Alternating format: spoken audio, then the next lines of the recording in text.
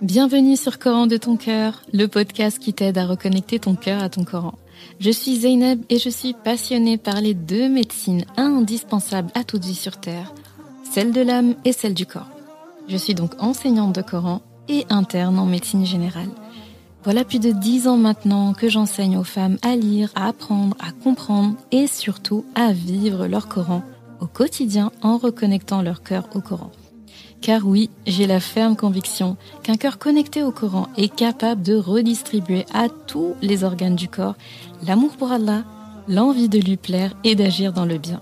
C'est pourquoi à travers ce podcast, je compte redonner chaque semaine un nouveau souffle à divers pans de ta vie au regard de ton Coran. Prends ce temps pour toi et belle écoute. Assalamu alaikum wa rahmatullah. Très contente de te retrouver pour un nouvel épisode un épisode où je suis pas seule. Je fais souvent des épisodes invités en ce moment. Oui, j'aime bien. J'apprécie beaucoup. J'espère que, que, tout le monde va bien chez toi. Alors, aujourd'hui, c'est un épisode spécial, comme beaucoup, parce que ça traite d'un sujet qui me tient à cœur. Un sujet euh, auquel j'ai pensé parce que, euh, dans, que ce soit parmi mes élèves, que ce soit parmi euh, ceux qui me suivent sur les réseaux, les retours que j'ai, les mails que je reçois, eh bien, il y a une population, entre guillemets, que, que je ne peux pas ignorer et qui est très très présente, machallah, et c'est les personnes qui se sont reconverties à l'islam ou qui sont en phase de se reconvertir à l'islam ou qui ne sont pas encore, euh, c'est très important le encore, pas encore, musulmanes. Et, euh, et, je reçois beaucoup beaucoup de messages de, de ces personnes, que ce soit euh, juste pour me partager justement leurs témoignages, que ce soit pour poser des questions, que ce soit pour partager aussi malheureusement des fois des mésaventures qu'ils ont rencontrées dans, au sein de la communauté ou au sein de leur famille. Et je m'étais dit que ça pouvait être utile de, de, faire un épisode à part entière sur ça, la reconversion à l'islam. Donc ce serait comme un peu une suite ou une application d'un épisode que j'ai fait qui s'appelait euh, Tashahada, l'art de se reconvertir à l'islam. Et là je parlais vraiment de justement ceux qui sont nés ou qui ont baigné très tôt, en tout cas, dans la pratique religieuse et finalement arrivent à un moment donné où pour se reconnecter à, leur islam et, à leur cœur, ont normalement ce besoin euh, de, se reconvertir à l'islam, de prendre la décision eux-mêmes, de faire leurs prières, de verser leurs zakat, de jeûner. Et ce n'est plus cette fois-ci la décision de leurs parents, l'héritage de leurs parents, même si bien sûr euh, on leur est vraiment reconnaissant et heureusement qu'ils étaient là eh bien, dorénavant, c'est la décision personnelle de la personne. Et donc, euh, je disais qu'en cela, on avait des points communs avec les personnes qui se sont reconverties à l'islam.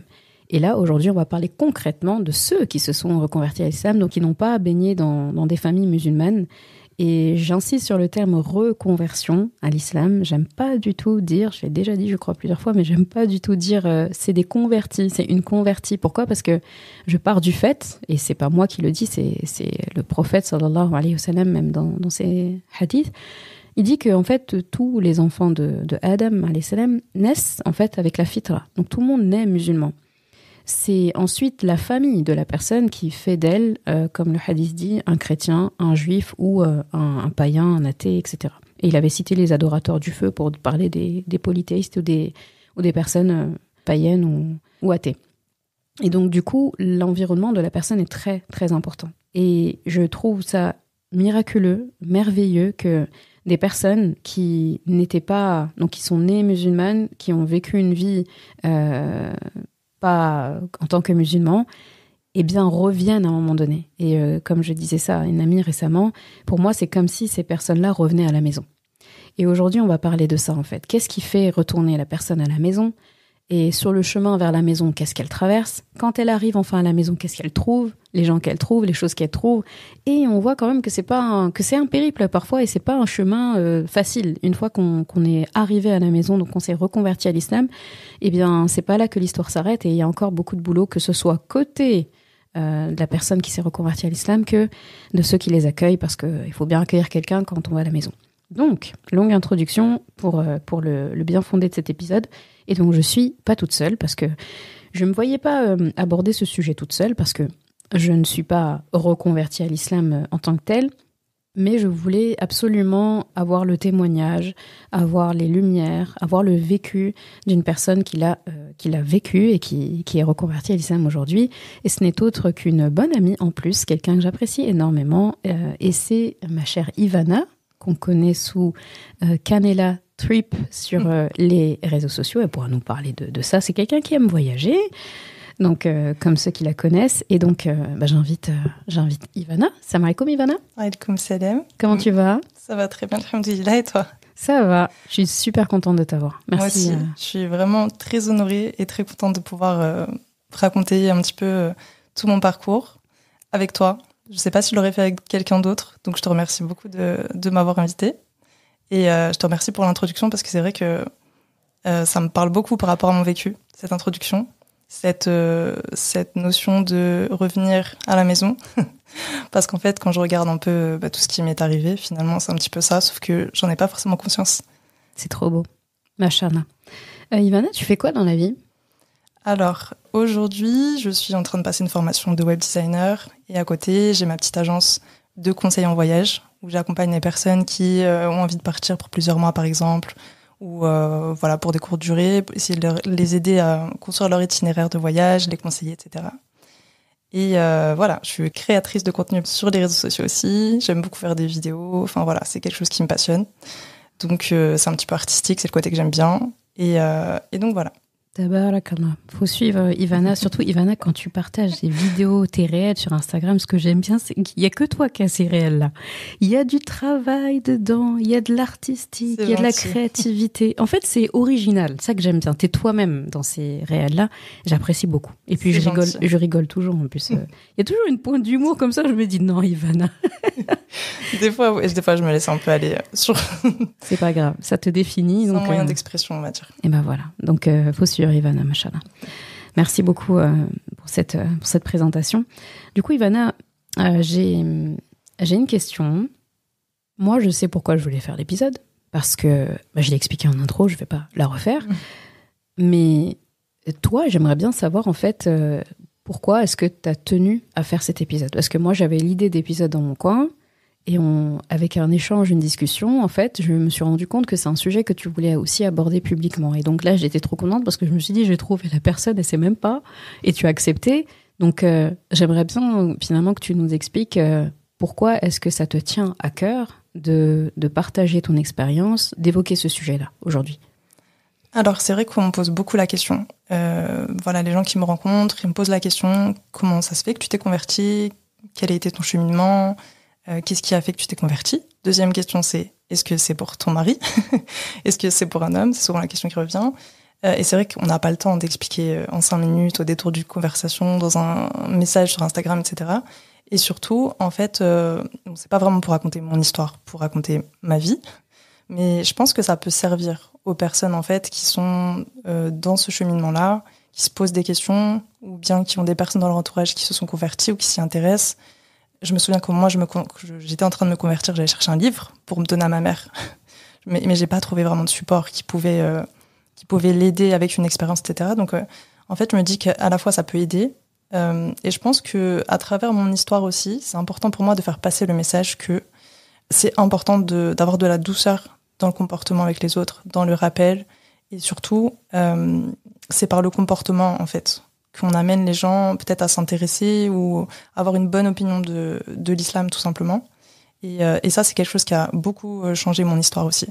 Donc, euh, donc je pense que ça peut aider peut-être. Et en même temps, dernière chose, bon ça c'est un petit peu personnel, mais comme pas mal de convertis, je pense que c'est difficile aussi parfois de pouvoir avoir cette discussion-là avec sa famille, d'avoir des discussions ouvertes sur la religion.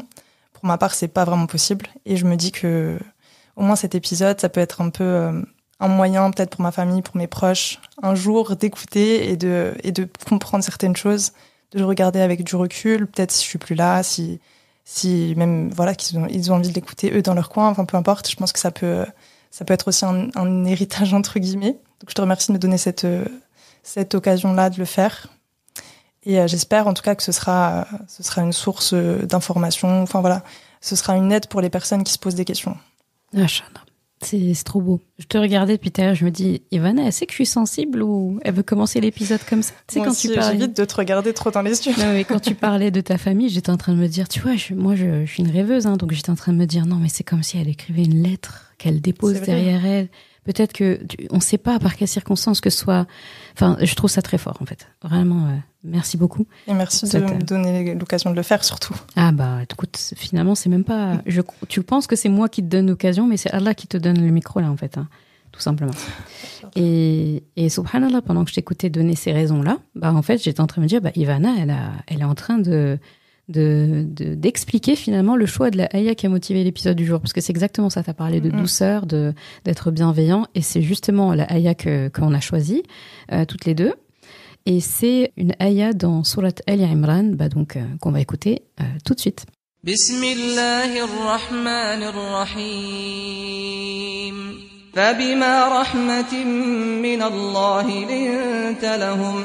ولو كنت فظا غليظ القلب لانفضوا من حولك فاعف عنهم واستغفر لهم وشاورهم في الأمر فإذا عزمت فتوكل على الله إن الله يحب المتوكلين C'est par une rahma immense d'Allah que tu es bienveillant envers tes compagnons, ô prophète. Mais si tu étais rude, au cœur dur, ils se seraient enfuis de ton entourage. Pardonne-leur donc et implore pour eux le pardon d'Allah. Et consulte-les à propos des affaires. Puis une fois que tu t'es décidé, confie-toi donc à Allah. Allah aime en vérité ceux qui lui font confiance. Surat Ali Imran, ayah 159. On est d'accord que cette ayah représente tout ce qu'on a envie de dire aujourd'hui. C'est ça. Mashallah, c'est, c'est, je trouve ça très fort que Allah parle au prophète il lui parle d'une, de sa rahma, il lui parle du fait que, en gros, si tu étais dur, si tu étais rude dans tes gestes, dans tes paroles, et au cœur dur, tout le monde se serait enfui. Et c'est impressionnant qu'il dise ça à son, à son prophète, c'est parce que c'est, c'est, c'est euh, dur comme ton, tu vois, comme pour dire, mais c'est uniquement par ta rahma que tu réussis à être bienveillant, par la rahma qu'Allah t'a donnée, que tu réussis à être bienveillant. Et il lui rappelle finalement la fonction pour laquelle il a envoyé sur terre. Il dit Wama arsalnaka illa rahmatan alamin. Donc je ne t'ai envoyé que comme miséricorde. Ta fonction sur terre, c'est d'être une rahma, plus que miséricorde, c'est rahma exactement. Rahma pour l'univers, pour tous les êtres en fait. Et je trouve que cette ayah-là rassemble aussi, comme celle-là, comme pour dire, bah, il est le prophète de tout le monde. Et ça renvoie à ce qu'il disait justement, que tous les gens naissent avec la fitra. Donc en fait, euh, tu vois, ça nous enlève aussi ce côté où les musulmans pensent qu'ils sont un groupe, qu'ils sont une élite et que et qui sont meilleurs que les autres dans le sens euh, sur le plan humain. Effectivement, Allah dit le meilleur d'entre vous, c'est celui qui est le plus pieux en fait. C'est mm-hmm. quelle que soit ta couleur, ton origine ou quoi. Mais euh, je trouve que parfois l'erreur que certains musulmans font, c'est que en tant qu'être humain, juste humain, ils peuvent se penser privilégiés ou meilleurs que les autres parce qu'ils croient en Allah. Mais la piété, ça se traduit aussi dans le comportement, en fait, et c'est ça qu'on oublie parfois. C'est que le comportement, c'est le représentant de la piété. Quand je voyage en Indonésie, en Malaisie, je vois dans le comportement la piété des gens, en fait. Tu vois la douceur, les sourires.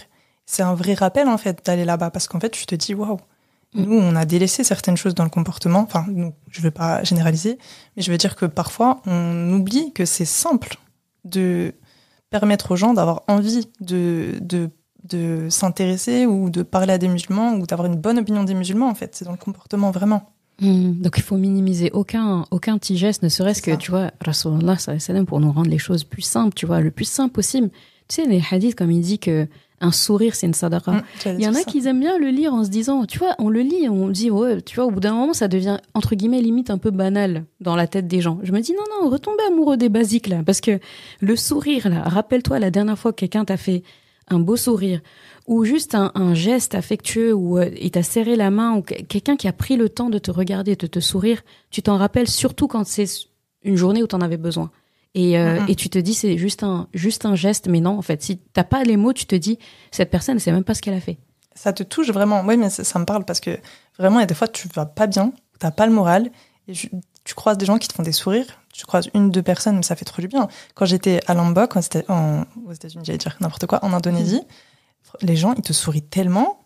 Tu te dis, waouh, c'est limite, t'es gêné. Mais ça te, c'est, ça te fait tellement, ça, ça, te remonte tellement le moral, ça te fait tellement de bien, en fait, à l'âme, que les gens soient aussi souriants que bah, tu te dis vraiment, le sourire, c'est, une aumône, mais c'est, tu comprends, en fait, la signification. C'est vrai que c'est une grande, une grande richesse. Machallah. D'accord. Alors, du coup, ça m'amène euh, à une, euh, une autre interrogation que j'avais. Peut-être tu vas pouvoir m'éclairer. Euh, moi, ça me fascine. hein. Franchement, les personnes qui sont converties à l'islam, c'est un, public euh, que, j'aime énormément. Je pense que je vais le redire plusieurs fois dans l'épisode, mais je trouve ça beau. Encore toujours cette métaphore. Bon, ceux qui m'écoutent ont l'habitude de mes métaphores, mais toujours la métaphore du, retour à la maison. En fait, il y a ce petit retour à la maison avant le grand retour à la maison au paradis, Inch'Allah. Et, euh, et j'ai- et j'aime et je demande à Allah d'être cette personne, en fait, qui ouvre la porte et qui accueille et qui met bien les gens, tu vois, qui, qui, se, qui arrivent à la maison. Et pour moi, bah, pour reprendre vraiment la métaphore jusqu'au bout et la pousser jusqu'au bout, quand quelqu'un arrive dans une maison pour la première fois et c'est censé être chez lui, eh bien, il y a toujours ce, et elle va séjourner longtemps, on espère jusqu'à la fin, eh bien, tu vois, ça me renvoie encore, tu vois, comme quoi on, revient toujours au Coran et au prophète sallam. Il y a des règles à respecter quand quelqu'un est invité. Même s'il revient chez lui, tu vois, même quand tu reviens chez toi, tu as laissé ta famille, tu sais, il y a le côté, on aimait bien jouer à ça avec mes frères et sœurs quand on était petits, on revenait, quelqu'un revenait de l'internat ou revenait d'un long voyage ou quoi. Eh bien, on utilisait, tu sais, les trois jours de l'invité, là. Pendant trois jours, la personne, tu dois la traiter comme un invité. Passer les trois jours, et c'est bon, tu es comme quelqu'un de la maison.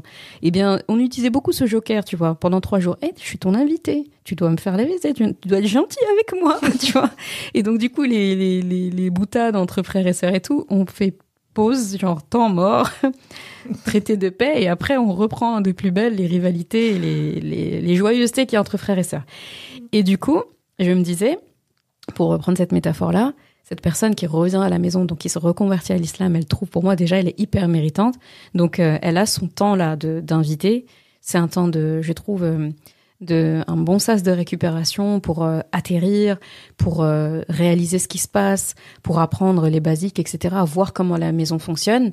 Et après, petit à petit, elle devient comme un membre de la maison à part entière, tout en restant finalement aussi euh, que ce soit pas un membre lambda non plus dans la maison, dans le sens c'est bon, on fait plus d'efforts. Parce qu'effectivement, normalement, avec les membres de chez nous, j'avais vu un savant qui disait ça, il disait pourquoi est-ce qu'on traite pas les membres de notre maison avec le même égard qu'on traite les invités, et tous les jours. En fait, il disait ça, il disait aux parents, que ce soit le, le papa, la maman, traitez vos enfants comme des invités. Dans le sens, euh, il faut qu'ils aient envie, en fait, de Mhm. grandir dans cette vie et tout, et eux en premier. Et effectivement, on voit la différence entre un enfant dont les parents le traitent vraiment comme s'il était l'invité chez lui, pas avec les codes de l'invité, genre tu lui sers dans un truc de cristal et tout, mais vraiment dans le sens se sentir bien. Un invité, il y a plein de choses que tu te permettras pas parce que tu veux lui faire vivre une bonne expérience au moment où il est là. Ça veut pas dire que tu vas accepter s'il te manque de respect ou quoi, mais ça se passe bien. Eh bien, pourquoi on fait pas ça avec les membres de notre maison? Pourquoi est-ce qu'on n'est pas les meilleurs avec ceux chez nous que par rapport à l'extérieur? Comme le professeur Sam disait, donc euh, le meilleur d'entre vous, c'est lui qui est le meilleur, euh, qui, est- qui a le meilleur comportement avec sa famille. Et disait moi, le genre le meilleur de moi, c'est ma famille qui l'a. Donc c'est c'est très fort. Donc il doit faire bon vivre euh, de faire partie de la maison de Rasulullah. Donc par rapport à, à ça, cette histoire de d'arriver à la maison, j'imagine que avant d'arriver à la maison, la personne, bah, son voyage, il n'a pas commencé quand il sonne à la porte. Donc ça démarre bien avant. Et je pense que toi, il a démarré beaucoup plus loin qu'on peut imaginer. Est-ce que tu pourrais nous faire la, la charité de nous expliquer ça? Bah, en fait, en préparant cet épisode, en fait, enfin, j'ai pas vraiment préparé, mais je me suis dit, je vais essayer de ne pas oublier des étapes clés peut-être qui peuvent être intéressantes pour les gens qui vont écouter. Et en fait, j'ai fait une petite frise de ma vie et je me suis rendu compte, et je te jure qu'en fait, je me suis rendu compte là que pendant toute ma vie, enfin toute ma vie, une bonne partie de ma vie, d'où d'aussi loin que je puisse me souvenir, en fait, Allah, il, il opérait en moi déjà ce changement, ce cheminement, en fait.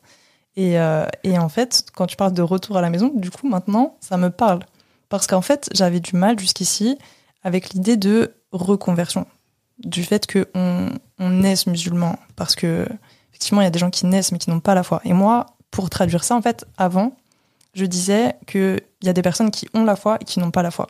C'est-à-dire qu'il y a des personnes, en fait, euh, pour moi, la foi, ça se choisit pas vraiment. Il y a des gens qui ont la foi, euh, voilà, ils ne choisissent pas de l'avoir. Il y a des gens qui n'ont pas la foi. Mais en fait, maintenant, je comprends qu'en fait, Allah, il met un voile sur les yeux de ceux qu'il veut et il guide qui veut. Mais parfois, tu n'es pas au courant qu'en fait, euh, Allah, il est en train de te guider, en fait. Tu sais pas, c'est inconscient. Mais c'est par les événements de ta vie que tu finis par, euh, par avancer petit à petit et à retourner à la maison, comme tu dis. Et euh, c'est vrai que moi, quand j'y pense, à chaque fois qu'on me pose la question, je me dis, mais c'est une longue histoire. Mais vraiment, c'est une longue histoire parce qu'en fait, quand j'étais petite, déjà, je me rends compte maintenant qu'il y a des choses qui se sont déclenchées, en fait, et j'avais quelque chose. En fait, j'avais la foi, mais je pouvais pas vraiment expliquer cette foi parce que moi, je suis issue d'une famille qui n'est pas euh, croyante. Ou en tout cas, peut-être que ma mère croit, mon père croit, mais je suis pas au courant. en tout cas, ils sont. Ils sont chrétiens? Non, pas vraiment. En fait, euh, je pense que ma mère. Euh, comment dire? Je pense que de par défaut, elle est chrétienne parce que ma grand-mère était chrétienne, etc. Mais il n'y a pas de pratique religieuse chez nous. À tel point que, je te raconter une, une anecdote. En fait, une fois, parfois on allait à l'église. On brûlait un cierge pour Marie. Moi, je croyais qu'on brûlait un cierge pour ma cousine Marie. Ah oui, ah, ça j'avoue que c'est une anecdote, faudrait que tu la gardes là pour tes enfants. Parce qu'en fait, ma cousine, elle s'appelle Marie, elle est handicapée, elle avait beaucoup d'interventions chirurgicales. Donc moi, pour moi, on mettait le cierge pour ma cousine, en fait, pour lui porter chance. Mais c'est pour te dire qu'on avait, enfin, j'ai pas compris, ça n'a pas été contextualisé. C'est passé des petites choses comme ça. Des fois, on allait à l'église pour le, voilà, les communions des cousins, cousines, les baptêmes, euh, beaucoup les enterrements, enfin voilà, les mariages des fois. Mais j'ai pas ce lien vraiment avec la religion. Mais quand j'étais petite, j'ai trouvé un livre un jour chez moi. Euh, tu sais, la Bible pour les enfants, enfin les livres pour les enfants qui expliquent la religion. Je me souviens que j'avais appris la prière. Mais je sais pas vraiment pourquoi j'ai appris la prière, parce que je savais pas vraiment ce que c'était la religion. Enfin, je. Tu t'es déjà demandé pourquoi tes parents ils avaient ce livre-là à la maison hein, C'est un cadeau. Ouais, ah, je pense que ça doit être un. En fait, c'est dans un tiroir. Hein. Je l'ai trouvé dans un tiroir en fouillant, en cherchant quelque chose.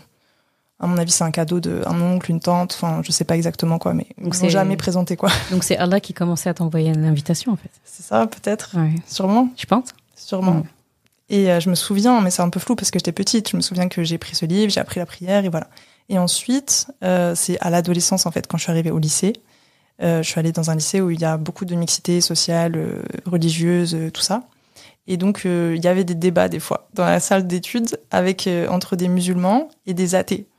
Et j'entendais les débats. Bon, les débats, ils sont drôles maintenant que je les vois en arrière, quoi. Mais des débats sur le Big Bang et tout. Et je me disais, mais moi, j'ai aucune notion, en fait. Je peux même pas débattre avec ces gens, avec ces personnes-là, parce que j'ai pas de notion de religion. Et j'aime bien quand même savoir de quoi je parle. Du coup, je suis rentrée chez moi, j'ai dit à ma mère, bon, euh, j'aimerais bien connaître un peu les religions, donc je vais lire la Torah, la Bible et le Coran. Et ma mère, elle a paniqué. Quand elle a entendu le mot Coran, elle a paniqué. Elle a dit, non, mais tu vas pas te convertir, parce qu'en fait, ma mère, elle connaît pas de musulmans.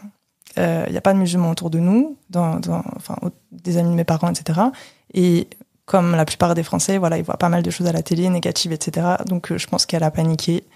Et je lui ai dit, bon, ben, je vais commencer par la Bible et la Torah, quoi. Ce sera plus simple.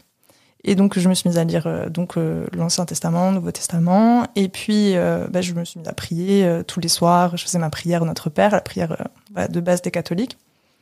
et puis, je me suis mise à aller à la messe aussi. parce que c'était important pour moi. J'avais besoin, en fait, de me retrouver avec des gens. D'avoir un moment vraiment de spiritualité, en fait. D'avoir le prêche du curé. Voilà, c'est un peu comme le prêche à la mosquée. En fait, le curé va faire des, des parallèles entre la vie et la, et la religion. Et, et, voilà, donc moi, c'était un moment en fait qui me faisait du bien. Mais c'est vrai que j'adhérais pas avec tout. Par exemple, euh, je pouvais pas, enfin, jamais prié Jésus. J'ai jamais fait de prière pour, enfin, à Marie. En fait, il y a des choses auxquelles j'adhérais pas. Je me disais bon, en fait, c'est comme si je me mettais de côté, quoi. je me mettais de côté et je me disais juste non, moi, je prie Dieu, je suis là pour prier Dieu. Et en plus, quand tu n'as pas fait tes ta communion, tes communions, quand tu n'es pas, tu t'es pas confessé parce qu'il y a un, il y a un confessionnal, c'est pas le mhm. confessionnal de Secret Story. Je connais pas. en fait, tu dois, il y a un moment donné où tu es censé euh, te confesser au curé, au prêtre, de tes péchés. Et lui, il te dit euh, combien tu dois euh, réciter de choses pour, en gros, obtenir le pardon de Dieu. Voilà, ça, j'ai jamais fait.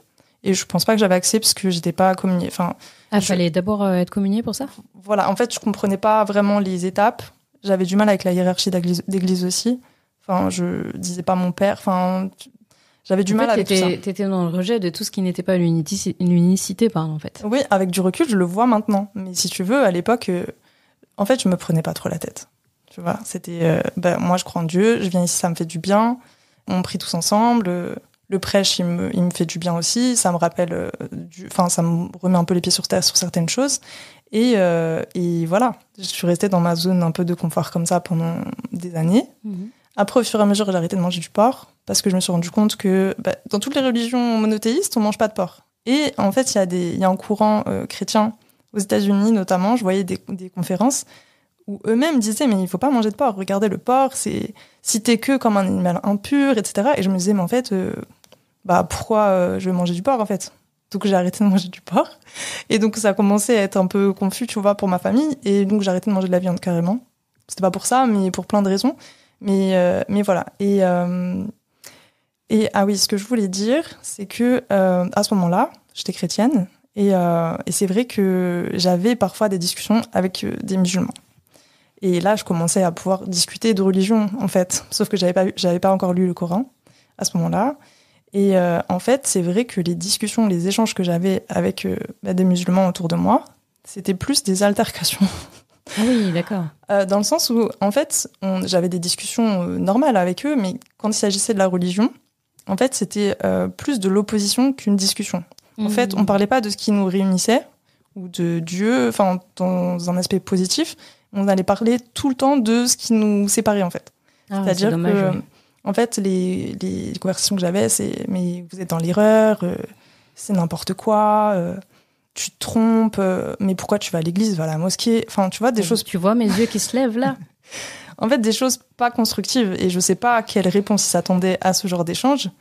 Mais du coup, moi, ça m'a braqué, en fait. Ça m'a beaucoup braqué. Et en fait, si tu veux, il y a même des choses dans la religion catholique que j'avais du mal à expliquer. La Trinité, par exemple, c'est un concept, le Père, le Fils et le Saint-Esprit. Euh, en fait, c'est un concept qui est difficile à, comment dire, qui est difficile à comprendre ou à expliquer. euh, d'un point de vue extérieur, c'est dur à comprendre. Et moi-même, en fait, je me rends compte que je l'avais un peu appris par cœur. Même moi, jusqu'à présent, je comprends pas. Et pourtant, j'ai discuté avec des crédits, j'ai toujours pas compris. En fait, ouais, enfin, je vais pas rentrer dans l'explication là maintenant, mais, disons que, voilà, c'est une croyance, euh, voilà, d'une division de Dieu en trois éléments entre guillemets. Enfin, si je fais dans les grosses guillemets quoi, pour pas manquer de respect aux chrétiens, mais en gros, euh, voilà, c'est, difficile à expliquer le pourquoi du comment, enfin la logique. Euh, et donc voilà, moi j'avais un peu ces arguments là pour pouvoir avoir des discussions et pouvoir expliquer. Mais si tu veux, c'est pas comme si c'était quelque chose que moi je comprenais vraiment. Et, euh, voilà. Et c'est vrai que bah, du coup, je me suis beaucoup braquée. J'étais euh, moi-même, j'étais un petit peu dans mon ego, je pense, en me disant non, mais je fais ce que je veux, quoi. si je veux être une, une femme chrétienne, je suis une femme chrétienne. Tu vas pas me changer. Enfin, j'ai pas envie de changer. Et du coup, je suis rentrée dans une période où j'étais euh, un peu braquée par rapport à ça, et je voulais même pas entendre parler de l'islam en fait. Dès qu'on venait me parler de l'islam, j'avais toujours des éléments pour réfuter, mais euh, mais voilà, pour réfuter quoi. Hum, là, parce qu'il y, a eu- il y a eu un côté euh, rejet. Oui, c'est ça en fait. Et on n'accepte pas, en fait. Euh, on, on- on aime bien dire on aime tout le monde, sauf ceux qui nous rejettent, en fait. Mm, Mais en fait, je pense que moi, j'étais plus. euh, disons que je pense pas que je rejetais l'islam en lui-même, mais c'est plutôt les gens qui venaient me parler que je rejetais. Tu vois, en tout cas, moi, dans l'idée du rejet, personnellement, enfin, c'est plutôt à ça que je faisais barrage, parce qu'en fait, à chaque fois que j'avais des discussions, ça se passait comme ça. Donc, euh, disons que ça m'a un peu braqué, quoi. Ça m'a un peu braqué. Après, oui, c'est Allah qui guide, c'est Allah qui guide les cœurs, donc de toute façon, enfin, c'est pas parce que des personnes vont venir s'adresser à moi d'une mauvaise façon que je ne suis pas musulmane à ce moment-là, mais disons que ça a un impact, en fait.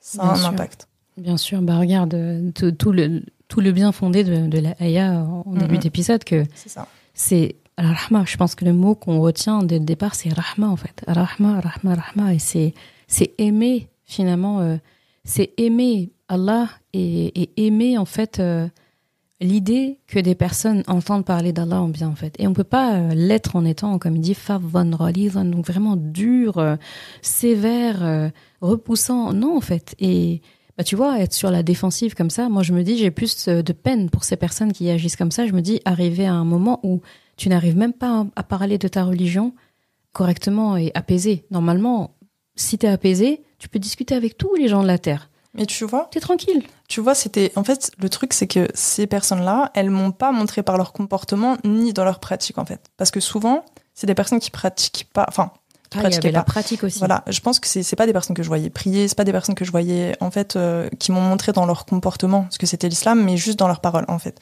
Et du coup, il y a un décalage. Il y a un décalage et je pense que ces personnes-là elles-mêmes, elles sont peut-être pas en phase en fait avec elles-mêmes. Toujours ma, ma métaphore pendant que tu parlais, je suis en train de me dire en fait, elles sont pas encore arrivées bien à la maison elles aussi. Ouais, c'est peut-être ça. Elles sont sur le chemin et peut-être que. C'est sûr de toute façon. Elles sont encore en train de chercher des trucs et te voir toi qui poses des questions et sur ta religion ou qui discutent finalement où ils se disent ce que tu dis c'est pas vraiment ce que je recherche j'ai pas fini ce que je recherche et en fait ça fait un peu comme euh... oui ça fait une opposition sur le chemin quoi en fait c'est ça c'est peut-être ça mm. C'est ça et, et, voilà et en fait après c'est euh, c'est marrant parce que bah, du coup je me retrouve dans un moment donné de ma vie où euh, je suis euh, enfin j'ai terminé j'ai eu mon bac mais je peux pas commencer mes études parce que mon père veut pas que je fasse mes études de psycho donc pendant deux ans il m'empêche de m'inscrire il veut pas du tout que je fasse ça parce qu'il se dit que c'est les études du chômage, etc. Donc, il, est, il a travaillé en psychiatrie pendant 40 ans et du coup, il voit autour de lui que c'est compliqué. Et donc, pendant ce temps-là, en fait, j'ai une période où je fais plein de petits boulots. Je travaille dans les salons de l'étudiant, notamment. Et en fait, euh, il y a des intervenants qui viennent pour parler des langues, etc. Et je me retrouve à animer une conférence, enfin, en tout cas, à travailler dans cette conférence. Et du coup, au final, on me donne un livre sur l'arabe, l'arabe littéraire. Et je me dis, tiens, euh, bah, c'est intéressant. Euh, ça a l'air trop intéressant d'apprendre l'arabe, quoi. C'est un nouvel alphabet, c'est différent. Bon, bah je vais faire ça. Je vais apprendre l'arabe. Et du coup, euh, je me suis mise à apprendre l'arabe chez moi toute seule, en attendant de reprendre mes études. Et j'ai fini par prendre, euh, par faire une licence de langue. Et ma troisième langue, en fait, c'était l'arabe littéraire. Du coup, j'ai commencé à apprendre l'arabe avec ma prof euh, de Paris 8. Elle était trop bien, Madame Toiti, vraiment. J'aimerais trop qu'elle écoute ça. On la salue. On la salue vraiment très très bien. Elle s'est beaucoup occupée des francophones, justement, elle nous a pas lâchés, mais vraiment nous a pas lâchés. Du coup, on était obligé d'y arriver en fait. Et, euh, et du coup, ben, j'ai appris l'arabe littéraire. Pourquoi? Euh, Voilà, euh, j'avais pas vraiment de but. Je me suis juste dit bon bah c'est intéressant, c'est bien, j'apprends une nouvelle langue, etc. Et, euh, et finalement, ça m'a beaucoup facilité par la suite, quoi d'avoir appris à ce moment-là, en fait, euh, je le savais pas, mais ça faisait aussi partie des choses qui aujourd'hui me servent pour, pour la religion, quoi. La langue du Coran avant de lire le Coran. Oui, c'est ça. c'est ça.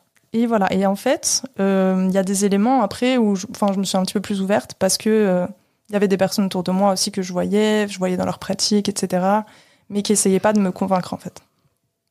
Elles essayaient pas de me convaincre, mais dans leur comportement, je voyais que Enfin voilà, c'était positif, euh, que c'était des personnes qui étaient gentilles, qui étaient généreuses, euh, qui pensaient toujours aux autres. Euh. et c'est vrai que sur un point de vue personnel, mais je me voyais pas avec me marier un jour avec un homme qui est pas musulman. Donc, non. donc voilà, c'était pas logique en fait, parce que moi-même j'étais chrétienne. Enfin, ça n'avait pas de sens, mais je me voyais pas. Je me voyais pas, j'arrivais pas en fait. Des fois, j'avais des copines qui me disaient ah mon pote il est chrétien et tout, et, et j'arrivais pas. Donc euh, je me disais, mais je sais pas, genre, c'est comme si ça me convient mieux. Mais moi, je suis pas musulmane, hein. c'est juste que. tu vois, en fait, c'est comme si j'étais dans le déni, en fait. Pendant toutes ces années-là, je suis vraiment juste dans un déni. Il y, a un déni et il y a une lucidité aussi. C'est-à-dire, tu sais que tu veux pas être avec quelqu'un d'autre qu'un musulman. Tu sais que tu as besoin de spiritualité dans ta vie. Euh, donc, il y, y, a une bonne part de lucidité quand même. Oui, c'est ça, mais j'arrive pas à la cadrer avec ma réalité, en fait. J'arrive pas à me rendre compte qu'en fait, bah, peut-être que si je me vois pas avec quelqu'un d'autre qu'un musulman, c'est qu'il y a une raison. Et je suis restée vraiment braquée euh, parce que je voulais pas m'intéresser parce qu'il y avait des gens autour de moi qui étaient musulmans en fait. Donc j'étais juste traitée de fût peut-être. peut-être. Mais, euh, mais voilà. Et après, c'est vrai qu'il m'est arrivé des choses dans ma vie, des épreuves, plusieurs en même temps. Voilà, c'était un petit peu difficile. Et je suis tombée dans une phase de dépression, vraiment. Et ça, euh, je ne l'ai pas vu venir. Je pensais pas que je pouvais un jour me retrouver comme ça. Et, euh, et en fait, étant croyante, mon réflexe à moi quand je vais pas bien, c'est de me rapprocher de Dieu en fait. Et je me suis dit, il y a qui d'autre sur ces, il y a qui d'autre qui peut me m'aider ou me réparer que Dieu en fait. C'est lui qui m'a créé, c'est lui qui a créé mon cœur, c'est qu'il y a que lui qui peut me réparer. Et en fait, pendant cette période où j'étais dans le mal, Dieu, c'était ma béquille. Vraiment, moi, j'avais cette image-là tout le temps. Je me disais, mais Dieu, c'est ma béquille. Et c'est marrant parce que même avant, en fait, ma relation avec Dieu, ça a toujours été un, soutien, en fait. C'était, euh, comment dire, ça a été euh, vraiment, euh, enfin, Dieu était là pour m'apaiser, tu vois. Je me rappelle quand, il y a un moment donné, je faisais des combats de boxe. Et avant de monter sur le ring, il y a un verset que j'ai répété tout le temps de la Bible. Et en fait, ça me donnait trop de force. Et le verset, je sais plus ce que c'était, Euh, on oublie vite, hein. Et ça parlait de quoi? Euh, le verset, c'était euh, même si euh, je marche dans les ténèbres, tu marches avec moi. Tu Ah, marches avec moi. En fait, peu importe, même s'il se passe quelque chose là, c'est pas grave parce que Dieu est avec moi en fait. Et en fait, ça, ça me galvanisait, tu vois, ça me donnait de, ça me donnait de la force. Ça me, en fait, ça me réconfortait. Je me disais, mais il peut rien se passer vraiment de grave. C'est pas grave. Enfin, je suis pas toute seule, quoi. Et en fait, c'est cette relation que j'ai avec, avec la, la foi, avec Dieu, depuis toujours. Et dans ces moments où j'étais vraiment dans le mal, et alhamdoulilah que j'ai cette relation. Que ce soit pas l'inverse. Hmm. Que quand ça va pas, en fait, j'ai plus envie. Ça, ça me ferait trop peur. Mm. Ça me ferait trop peur. Et en fait, euh, c'est vrai que, subhanallah, à ce moment-là, je comprenais pas mes épreuves. Ça veut dire que c'était pas logique pour moi. C'est-à-dire ce qui m'arrivait, je vais pas rentrer dans les détails, mais en gros, ce qui m'arrivait, pour moi, il y avait une logique, mais c'était pas la logique qui m'arrivait. je sais pas comment expliquer. En fait, ce qui m'arrivait, pour moi, ça n'avait pas de sens. Tu vois Et j'arrivais pas à comprendre. Je me disais, mais c'est pas possible que Dieu fasse les choses comme ça pour ce résultat, en fait, pour ça. Et je comprenais pas, je comprenais pas. Et, euh, et après, bon, bah voilà, j'ai laissé. J'ai. Comment dire J'ai placé ma confiance en Allah, mais ça a mis du temps. Ça a mis du temps. Et pendant ce temps-là, en fait, je me suis dit, bon, qu'est-ce que je risque à m'intéresser vraiment à l'islam et à, lire et euh, je risque rien au final. Ça se trouve, c'est pas, pas ça la vérité. Et puis, c'est tout, quoi. De toute façon, je vais en parler à personne. Donc, j'ai fait vraiment dans mon coin. C'est-à-dire, j'en ai vraiment parlé à personne. Je commençais à lire des livres.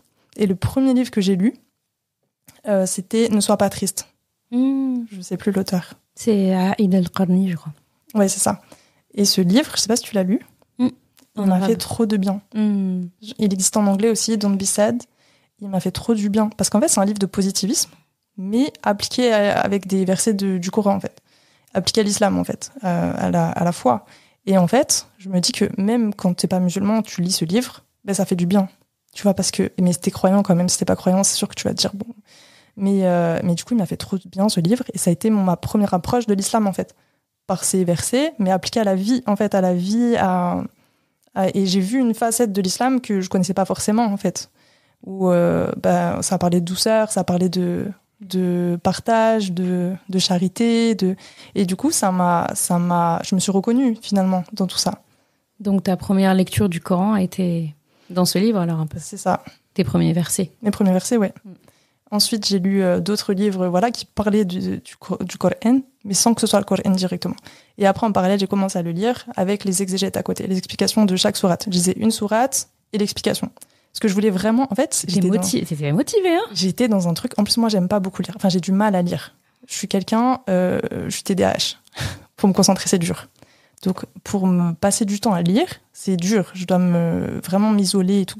Et là, j'arrêtais pas de lire. Franchement, je lisais tout le temps, tout le temps, tout le temps. Il me fait penser à une ayah euh, dans Surat euh, où Allah subhanahu répète euh, à plusieurs reprises la même ayah et il dit euh, comment dire que le Coran justement il a facilité à la méditation au, au rappel tout simplement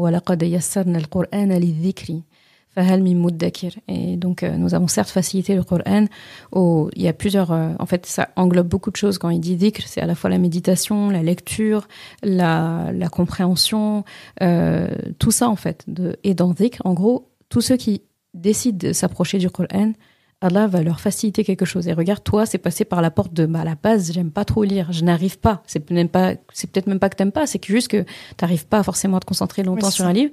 Et là, en fait, dis, mais c'est une exception à, ma règle, en fait, là. En fait, je me suis dit, euh, il y a quelqu'un qui m'a dit, si tu fais un pas vers Dieu, Dieu va faire dix pas vers toi.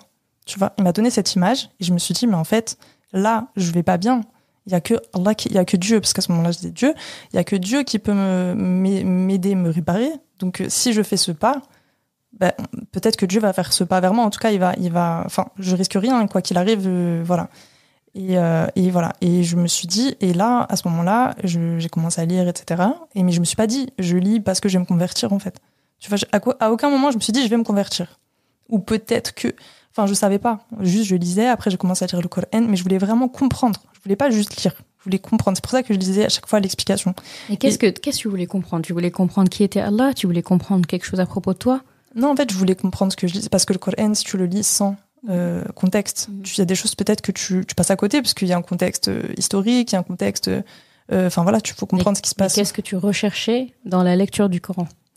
Euh, franchement, je, je, pense que je sais pas trop. Hein.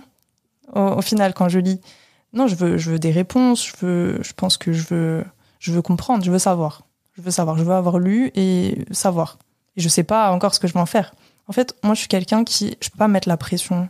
Tu vois. En fait, j'essaie de pas mettre la pression. Si je me dis, euh, en fait, si je me, enfin, je peux pas me mettre des objectifs. Je n'ai pas lu le Coran en me disant, je vais lire le Coran et je vais me convertir. Je, me suis juste dit, je vais lire. Et mais en fait, euh, j'avais vraiment euh, une envie. Enfin, je sais pas comment t'expliquer en fait, parce que c'est compliqué à expliquer, mais j'avais vraiment un besoin, une envie de lire. Et je me rappelle que je, je me suis adressée à Allah et j'ai dit, j'ai dit, mais si jamais c'est ça, tu sais, comme dans les films quand ils disent si tu existes. Oui. c'était pas à ce point-là, mais on aurait dit une scène euh, si tu existes, fais un signe. En fait, c'était si c'est ça la vérité, ben, fais naître dans mon cœur la certitude. Faut que je sois sûre, en fait. Faut que je sois sûre. Je veux pas faire les choses.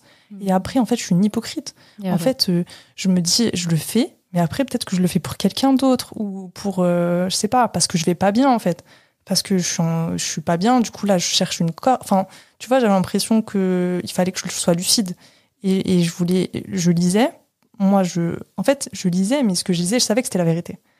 Mais je, je, en gros, j'étais pas sûre. Enfin, j'avais pas la certitude. Je sais pas comment t'expliquer. Mais en fait, je savais, mais je me mentais un peu moi-même, comme j'ai fait avant, en fait. C'était pas clair, c'était pas. Et je me, je me suis dit, euh, là, il faut que je sois sûre, en fait. Il faut que Dieu, il fasse naître dans mon cœur un truc où je me dis, mais c'est ça. Parce qu'en fait, je me voyais tout le temps des vidéos des gens. Il y a des gens, ils écoutent le Coran, subhanallah, ils se convertissent. Tu vois? Où on va leur. Euh, tu vois, des fois, les stands aux États-Unis, les vidéos, là. Ils font hmm. des stands, ils font écouter du Coran et les gens, ils viennent, ils, se convertissent. Hmm. C'est fou. C'est incroyable. Moi, ça n'a pas été. J'ai pas eu un déclic un jour où je me suis dit, hop, c'est sûr, c'est ça. Il fallait que ça prenne du temps. Et moi, je voulais que ça prenne du temps en même temps euh, parce que je veux pas faire marche en arrière. Moi, c'était ma phobie. C'est ma phobie de faire. Euh, de me dire, imagine, je me convertis. En fait, je me dis non. en fait, non. en fait, hmm. en fait c'était mieux l'église. Ah, non, mais tu vois, c'est comme si, en fait, là, c'est un truc de fou. Moi, j'ai du respect de toute façon pour toutes les religions. Enfin, et, et je me dis, imagine, là, je me dis que je suis musulmane. En fait, demain, euh, non, en fait, je suis, au final, je prie pas. Au final, je suis pas ma, je suis pas la religion. Euh, je fais juste euh, ce que je faisais déjà, ça n'a pas de sens. Et donc quand je fais cette, euh, j'ai cet échange en fait avec Dieu, et je, enfin j'ai cet échange, c'est moi qui parle, mais mais je dis si jamais c'est ça la vérité, mais je ferai en sorte d'être la meilleure personne. Je vais jamais rater mes prières. Enfin voilà, je, après ces promesses, voilà que tu fais. Quand... voilà. Et en fait, après, ce qui s'est passé, c'est qu'il y a le ramadan qui est arrivé. Moi, j'habitais chez mes parents. En fait, ah oui, c'est vrai que j'ai pas raconté cette partie, mais ma mère un jour a découvert des livres euh, j'ai reçu un colis. Mes parents d'habitude ils calculent jamais. Et là, ils voulaient absolument savoir ce qu'il y avait dans le colis. C'est comme s'ils savaient. Ils voulaient absolument savoir absolument. Et en fait, ma mère a vu les livres et elle a paniqué. Elle a paniqué, elle est devenue toute rouge, elle a retiré son pull. Et je me suis dit, ouais, là, là, ça va être compliqué, là, ça va être dur. Et en fait, pendant des semaines, elle me parlait pas. Parce que j'essayais de discuter avec elle, j'essayais de lui expliquer, mais je, je, elle comprenait pas, quoi. Enfin, en fait, elle avait tellement de stéréotypes, d'a priori. En fait, c'est trop dur. Tu peux pas même si tu essayes d'expliquer, moi-même je savais pas. Enfin, j'étais pas convertie, je m'intéressais juste et je voulais pas de. C'est pour ça que je voulais en parler à personne, parce que je voulais pas d'influence ni dans le sens de l'islam ni dans l'autre sens, parce que pour moi c'était fragile, vraiment. Donc je me suis dit j'en parle à personne vraiment. Même les gens que je connais qui sont musulmans, ils savaient pas, personne savait. Et en fait, à ce moment-là, ça a été dur parce que déjà j'étais pas hyper bien, et en plus, bah ma mère me parlait plus. Et ma mère, des fois, elle, elle, vraiment, elle me confrontait, quoi. Elle me disait, alors, je veux savoir, je veux que tu me fasses un compte rendu de ce que tu lis, je veux que tu m'expliques pourquoi l'islam, qui t'a dit, qui t'a envoyé, quoi, qui t'a, qui t'a influencé, euh, comment ça se fait que tu t'es pas intéressé au bouddhisme, comment ça se fait que tu t'es pas intéressé, enfin, elle essayait de comprendre pourquoi, en fait, pour elle, il y avait quelqu'un qui m'avait, qui m'a, qui était en train de m'influencer, en fait, sur ça. Et finalement, t'es la, es la première musulmane, peut-être euh, de ma famille. Si avais fait la shahada, t'es la première musulmane peut-être avec qui elle parle. Comme tu dis, euh, ah, oui, oui. tu disais elle en connaissait pas. Et au moment où t'as dit ça, j'ai dit si si, elle en connaissait une en fait. C'est toi. non mais voilà, c'était c'était franchement bah pas encore à ce moment-là, tu vois, mais mm. mais du coup j'ai essayé de parler parler parler et j'ai vu que c'était trop dur. Donc j'ai arrêté de parler. J'ai arrêté de parler parce que je me suis dit ça sert à rien. Je suis partie un peu de chez moi. J'allais dormir chez des amis, etc. J'allais dormir chez des cousines parce que je me suis dit c'est trop compliqué là. Ça, ça sert à rien quoi. Et au final, euh, on n'a pu jamais parler de vraiment de la religion en fait. Euh, y a ça y est, on a pu parler en fait. Et ce qui s'est passé, c'est que le ramadan arrivé. Et je m'étais pas dit que j'allais faire le ramadan du tout. Et le premier jour, je me suis dit, en fait, je pense que je vais le faire. Parce que quoi qu'il arrive, ça me fera du bien, ça va me ramener dans, dans un moment de spiritualité, ça va me rapprocher de Dieu. Donc quoi qu'il arrive, il n'y a pas de mal en fait. Et donc j'ai commencé le premier jour et tout ça. Mon père il m'a pisté pour savoir si je faisais le ramadan ou pas. Au début j'ai dû mentir. Le premier jour je me rappelle, je me suis dit purée c'est n'importe quoi. Et après bon il a compris que je faisais le ramadan mais du coup c'était compliqué parce que j'habitais chez mes parents donc c'était dur. Franchement c'était pas évident parce que eux bah, ils sont face à sont face à une personne qui est en train de changer. Ça leur fait peur parce qu'ils se disent bon peut-être que ça va partir dans un truc extrême, peut-être que c'est quoi l'islam? Enfin ils connaissent pas. Mais tu sais que mon père et, je sais pas, 5-6 ans en arrière, il m'avait demandé de lui ramener un Coran. Ah oui. Je te jure. C'est, en fait, c'est ça qui est incroyable. Quand moi, j'étais chrétienne, je ne m'intéressais pas du tout. Même, j'étais vraiment, euh, au contraire, j'étais réfractaire. Mon père, il m'a dit, j'aimerais bien dire le Coran et tout. Je trouve que j'aime bien la fraternité des musulmans entre eux, etc. Et je lui avais dit, bah, si tu veux, je te ramène un. Mais je lui ai ramené, moi, je le lisais pas. C'est lui qui a commencé à le lire, mais après, euh, franchement, c'est, je pense qu'avec ma mère, ça aurait été, ça aurait été très compliqué. Parce que c'était vraiment, euh, dur. Voilà. Donc, euh, et puis, comme je disais, en fait, je pense que si tu lis le Coran comme ça, sans contexte, euh, c'est dur, en fait, de comprendre. Tu vois, peut-être que tu as mal interprété certaines mm. choses. Il faut quand même que tu, tu comprennes euh, les, enfin, tu comprennes un peu ce qui se passe à côté. Enfin. Il y a des contextes à connaître parce qu'effectivement, quand tu, il y a certaines ayats quand tu connais pas le contexte, ça peut te titiller, mais c'est dommage en fait. Oui, c'est ça. Mais même nous, en tant que musulmans, des fois, on lit des ayats et après, on se dit, ah, mais c'est quoi l'explication Enfin, c'est quoi l'explication? Et on a besoin de chercher. Tu vois, c'est pas forcément toujours évident de comprendre le sens. Enfin, c'est possible que tu te trompes de sens. Mm. Donc, euh, lui, il a ensuite arrêté de lire, mais, pour te dire que enfin, c'est, c'est fou quand même. Et euh, donc, même pour mes parents, voilà, ils avaient une vision assez négative, en fait, où euh, la moindre chose que je faisais, elle était mal interprétée. Et puis, en plus, moi, je viens de penser à ça, mais c'est vrai que ce que je faisais cette année-là, c'est que je mettais souvent fleurs sur mes cheveux pendant le ramadan. J'étais pas musulmane. T'imagines Pas encore là. ça n'a pas de sens. Ça n'a pas de sens. Enfin, ça n'a pas de sens. enfin, quand tu regardes de l'extérieur, tu te dis mais qu'est-ce qu'elle fait celle-là mhm. Et en fait, euh, donc mon père il me disait non mais t'es en train de te refermer, t'es en train de t'es en train de dépérir. Enfin, il me disait des trucs. Mais mes parents, ils avaient aucune idée des problèmes que j'avais, même j'avais des soucis de santé et tout. Ils savaient pas parce que je leur disais pas en fait, parce que j'avais pas envie de les inquiéter, j'ai pas envie de bah, c'était compliqué. Donc en fait, ça rajoutait sur, sur le reste en fait. Et c'est vrai que ça peut être difficile.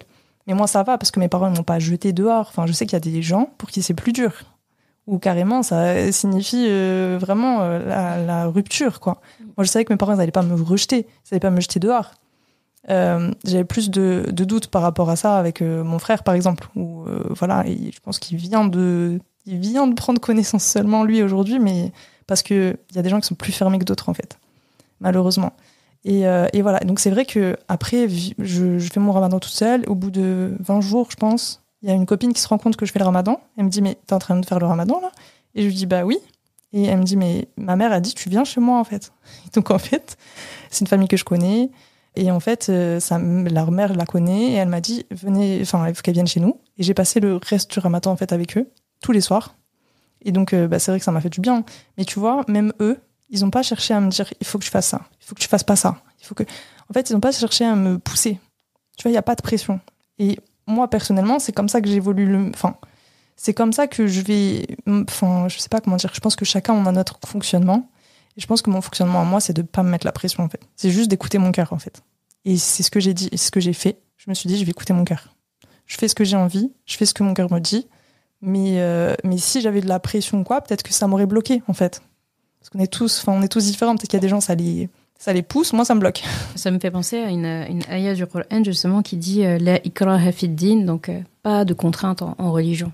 Et, et c'est très important qu'Allah ait, ait, dit ça et l'ait rappelé parce que c'est pas une leçon euh, évidente dans la tête des gens. En fait, dès lors que c'est la religion, c'est comme si ça donnait l'autorisation d'être, de contraindre la personne et de l'obliger. Il y a plein d'obligations religieuses. La prière, c'est obligatoire. Porter euh, le hijab, c'est obligatoire. Jeûner, c'est obligatoire. Et pour autant, tu vois, autant c'est obligatoire, autant Allah dit, je ne t'autorise pas à contraindre quelqu'un de le faire. Parce que chacun, à la fin, euh, prend sa propre décision. Et, Allah, en fait, euh, toi, en fait, il va te, il va te questionner sur est-ce que tu as conseillé la personne, est-ce que tu l'as aidé, est-ce que... Mais contraindre la personne sur là où Allah ne s'est même pas permis, lui, de le contraindre. T'imagines Ouais, le mais c'est- truc c'est c'est là où la frontière elle est mince en fait entre le, le fait de t'as envie de faire le rappel à une personne et est-ce que tu vas pas trop le tu vois c'est c'est dur de faire le rappel de la bonne façon aussi. Mm. parce que tu t'as envie du bien pour la personne tu sais pas comment le faire pour ne pas bloquer froisser la personne ou tu sais la prendre dans son ego en fait. Parce que quand t'es musulman et on vient te voir et on te dit euh, tu sais que là aujourd'hui euh, c'est bien de jeûner et que la personne elle est fermée enfin tu vois c'est dur des fois T'es- des fois t'es un peu enfin moi j'ai essayé des fois de parler avec c'est subhanallah j'ai essayé de parler moi après quand j'étais convertie avec euh, avec un, un jeune que je connais depuis qu'il est petit et tout et, et je l'ai conseillé tu vois à l'arrivée du ramadan en disant mais tu est-ce que est-ce que euh, je sais plus ce que je lui ai dit mais j'ai dû lui dire euh, est-ce que tu as fait des grandes ablutions est-ce que je sais plus ce que je lui ai dit exactement et il m'a dit mais et toi tu, tu l'as fait ou pas? Toi tu l'as fait avant de me dire ça? Est-ce que tu... et je me suis dit c'est dur quand même C'est Ouais, dur. on sait plus recevoir le conseil. Mais tu sais, c'est dur. Mais en fait, je, le, je disais, mais viens, on va à la mosquée. Allez, viens, on va à la mosquée et tout. Et, euh, et en fait, euh, je savais pas. Mais là, quelques, genre, quelques années après, 3-4 ans après, il m'a dit, tu sais que, parce que tu m'as cassé la tête, ben maintenant, je fais mes prières. Subhanallah. Moi, je me suis dit, je le saoule. Jamais, genre, il doit se dire, mais qu'est-ce qu'elle me veut Elle s'occupe de ses affaires et tout.